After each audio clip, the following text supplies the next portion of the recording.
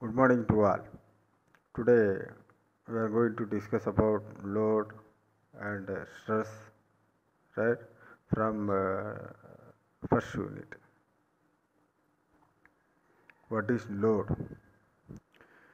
It is uh, defined as any external force acting upon a machine part. The following four types of uh, loads are important from the subject point of view. Okay. First one is or steady load. What is steady load? A load is said to be a dead or steady load when it does not change in magnitude or direction. Live or variable load. Okay. A load is said to be a live or variable load when it uh, changes continuously. Okay, suddenly applied load. What is suddenly applied load? Uh, suddenly applied load or uh, shock loads, right? the load is said to be a suddenly applied or shock load when it is suddenly applied or removed. Impact load. Okay, what is impact load? A load is said to be an impact load when it is applied uh, with some initial velocity. Okay, stress. What is stress? When some external system of force or loads act on a body, the internal forces are set up at various sections of the body which resist the external forces. Okay, this internal force per unit area at any section of the body is known as unit stress or uh, simply stress. Okay, it is denoted by Greek letter sigma. Mathematically, we can say sigma equal to P by A. That means load by area. Stress equal to load by area. Where P equal to force or load acting on a body.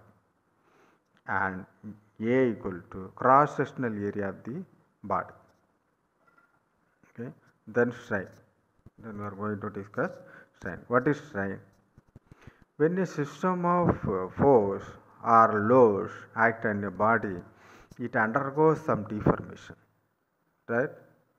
It means uh, you are going to apply a tensile or compressive load on the material. Right? That material is trying to extend or compress or shrinkage. Okay? This deformation per uh, unit length is known as unit strain or simply a strain. It is denoted by a Greek letter epsilon. Okay. Strain. You can write uh, epsilon or uh, small. Okay. Delta L divided by L, where delta L equal to change in length of the body and original length L equal to original length of the body. Tensile stress and strain.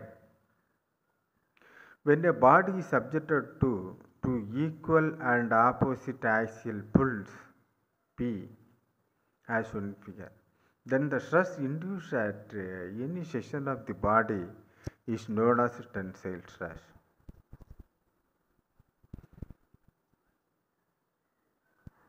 as shown in figure right? Here uh, uh, one object is shown here okay? And both side load uh, applied p is load. Here tensile load is applying okay so what will happen a material is trying to extend okay a little consideration will show that due to the tensile load there will be a decrease in uh, cross section area and in, in increase an increase in length of the body. The ratio of the increase in length to the original length is known as tensile strain. Let P equal to tensile force acting on the body. A equal to cross sectional area of the body. L equal to original length. Delta L equal to increase in length. Tensile stress sigma T equal to P by A. Tensile strain epsilon T as small e T equal to delta L divided by L. Thank you.